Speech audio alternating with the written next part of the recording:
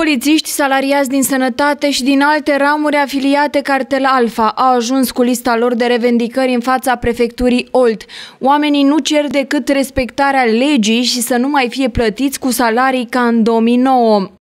Noi nu, nu cerem bani în plus, noi nu cerem modificarea de acte normative, noi cerem respectarea legii. Legea 153 pe care am negociat-o cu puterea la momentul 2017 și am acceptat în 2017 să ni se aplice această lege etapizat în 5 ani.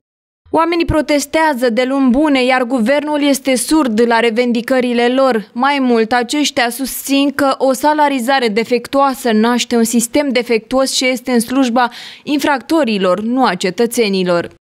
Guvernul vrea un uh, sistem de siguranță slab, vrea o poliție slabă ca ei să poată să-și facă uh, activitățile liniștiți, activitățile infracționale, aș spune, că altfel nu înțeleg de ce vor să țină poliția la un nivel minim și la un nivel uh, de salarizare la uh, valoarea de 600 ron, uh, valoare din 2009.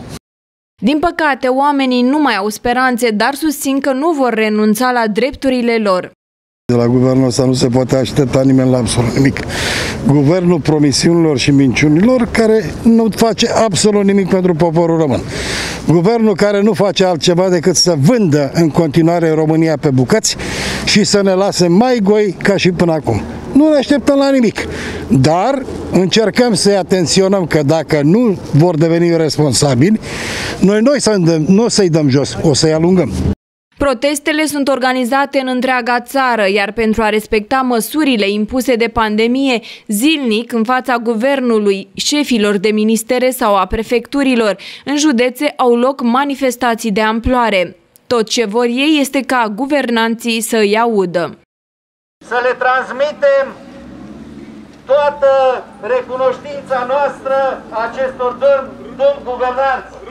Astăzi la Olt protestatarii au discutat cu prefectul Florin Homorean ce nu va face decât să transmită mai departe revendicările acestora. De fapt, vorbim de aceleași nemulțumiri ca ale polițiștilor ce au protestat luna trecută, ca ale personalului medical și din asistență socială de la Sanitas și, de ce nu, ale pensionarilor.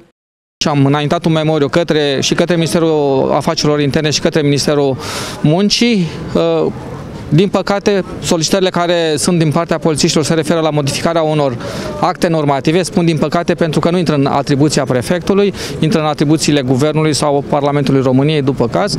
Eu voi colecta propunerile dumneavoastră cu privire la modificarea unor acte normative, cu privire la acordarea unor drepturi pe care dumneavoastră le solicitați și le voi înainta mai departe către Guvernul României. Reprezentanții polițiștilor au subliniat faptul că, deși sunt în conflict de muncă, ei vor continua să-și facă datoria. Cu privire la refuzul de a merge la intervenție nu va exista pentru că nu punem în, siguran, uh, în pericol siguranța guvernului, punem în pericol siguranța cetățeanului. Uh, cetățenii trebuie să știe că poliția este alături uh, de comunitate și nu va pune niciodată în pericol comunitatea.